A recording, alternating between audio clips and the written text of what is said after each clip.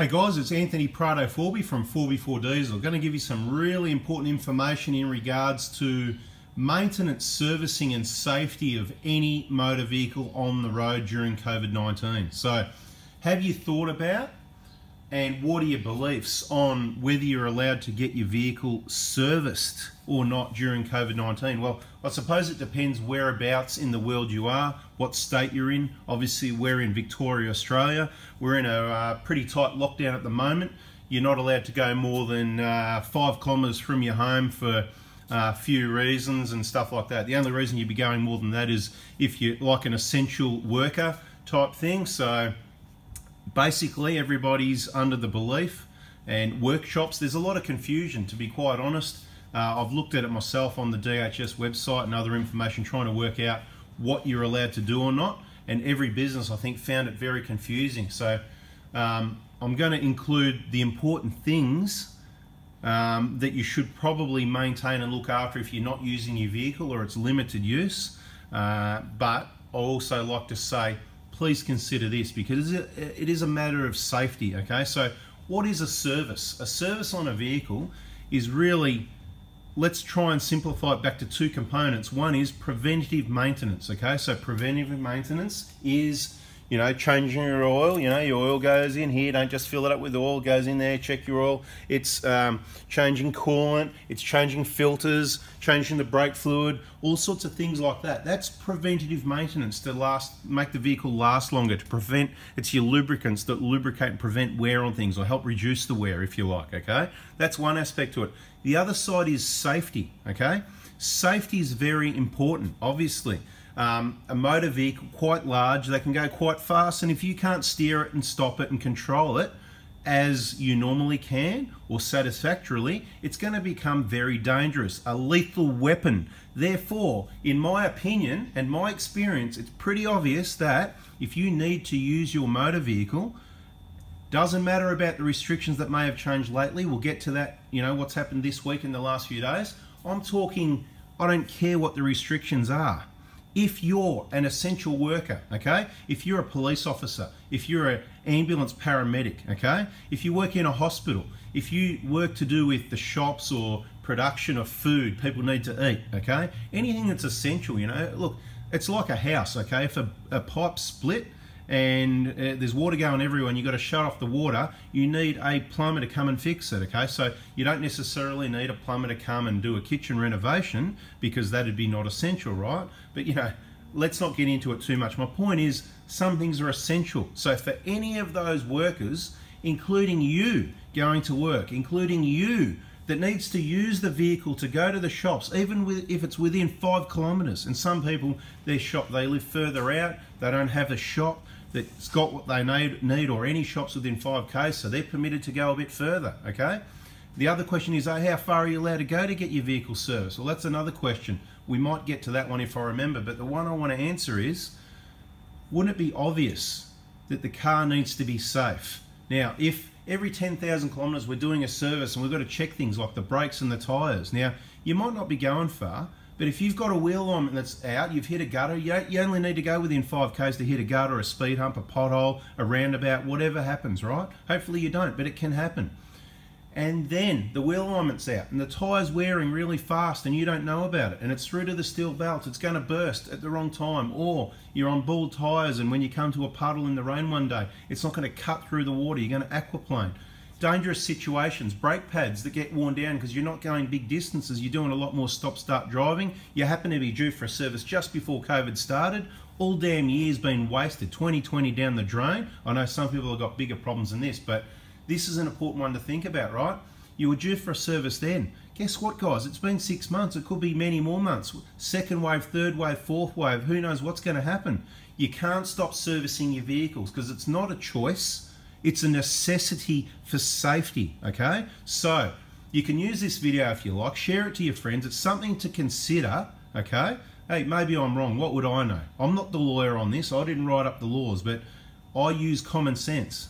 One of the few people around. So if you like common sense, make sure you subscribe and turn that bell on because there's heaps more common sense on our channel and plenty more coming your way. And I'm not done yet. I just thought I'd remind you that. Okay, so we got the picture. It's safety. It's a safety check. I've just mentioned a couple of things, tyres and brakes. Part of what we do on a service is check the vehicle bumper to bumper for safety. Any nuts and bolts loose, anything about to fall off, you know. Who knows? I'm not going to go into it. It's going to make the video really long. I'm trying to keep this one short. We're going to try and keep it under 10 minutes, okay?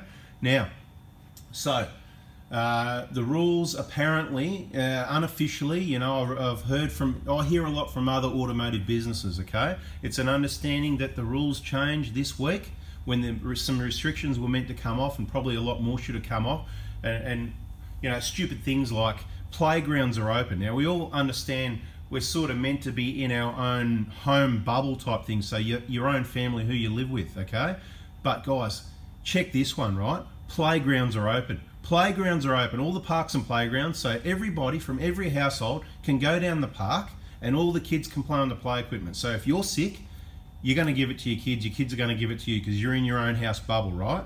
But you're no longer in your bubble. You've taken it to the park or you've picked it up from the park and brought it home and everybody in those households going to get it. Is that stupid or what? Does anyone know how kids roll? Touching the chains, touching the poles, touching their snotty noses or not. Either way, scratching their you know what, and up and down the slides and touching everything and they haven't got sanitizer in their pocket, okay? So do your best limit how much you go to parks and when you get them home chuck them in the shower and get them all clean put some clean clothes on and hopefully they didn't touch their face and no none of their uh, none of the other kids there, their parents were healthcare workers working in the COVID ward around COVID, and could be some of those because we know a lot of healthcare workers do get tested positive and get the virus. So it's a can of worms, guys. Now, but on the on the opposite note, you could do something like you're not allowed to do this. Okay, you're not allowed to play golf go fishing, go hunting, go for a bushwalk, any of these sorts of things that you can do on your own using your own equipment, your own rifle, your own golf clubs, your own fishing rod. On your own, you could do it in a public place, open air.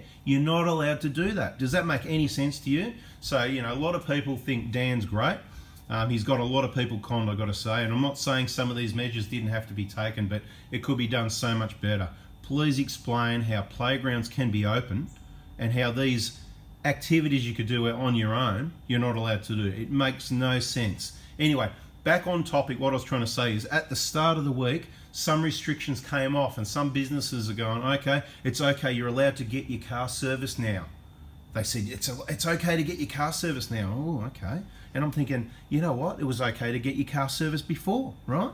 We'll get into that in a minute. There's a number of different businesses I've spoken to and they it's all very confusing. Some businesses were closed, some were open for a while till they got a fine and found oh closed. Only open for emergencies. I get the only open for emergencies, but essential workers' cars need to be serviced. We've been through that, and I think any business or vehicle owner should be arguing the point. And I think if you dug deeply enough, you can't be. It's like you know you're trying to save. I don't want to sound like I'm not. Um, I've got no empathy. Of course, we care about everyone, but saving a heap of 90 year olds and doing this to the economy and people's lives for a whole year and there's no end to it there's no vaccine and then it mutates and you need another vaccine. There's no we've got to live with this. It's a fact we're going to have to live with this. We can't go on like this. Not only the econ economic damage that we're all going to be paying for for 100 years mate.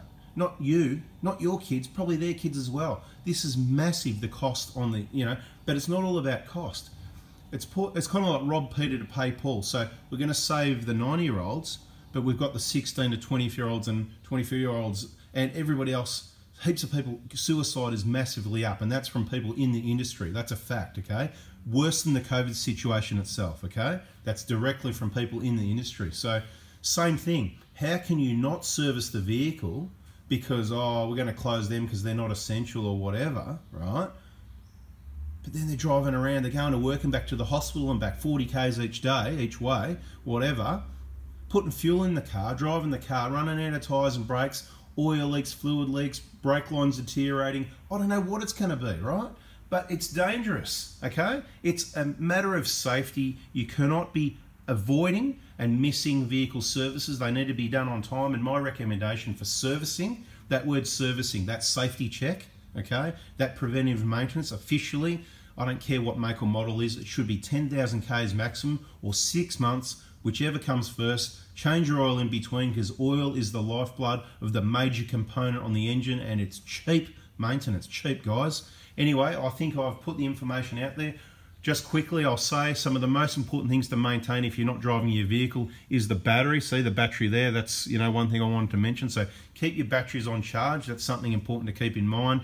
Um, engines should be left sitting with clean oil. If it's going to sit there like that, clean oil, not dirty oil. So if you didn't know, sorry, I did do a video mentioning this. You need to make sure you're subscribed and got that bell on so you don't miss this important information that a lot of other people aren't telling you. Okay, so if you haven't done it, order some oil from your cheapest on special superstore. I don't mean your cheapest oil. You know, you can get some Penrite or whatever you want from Super Cheap, Repco, Autobarn, any of these places. Look around, check the specials online, click and collect, go get it. Learn how to change your own oil. We've got a few oil changing videos on our channel. You can search how to change my engine oil. I think we've got a Honda, a Camry, we've got some Prados. You can get deep in the other videos and really get yourself educated how to look after your vehicle. I hope this helps you save some money. Hopes this helps you be safe and understand I don't know what rules changed a week ago, but you know, apparently it's official now. You can get your vehicle serviced. You can travel more than 5Ks to do it. Well, that's great, but in my opinion, you could do it before anyway because it was a matter of safety. It's a matter of life and death.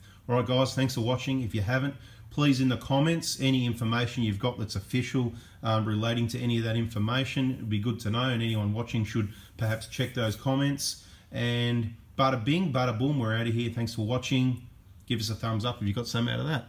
See ya.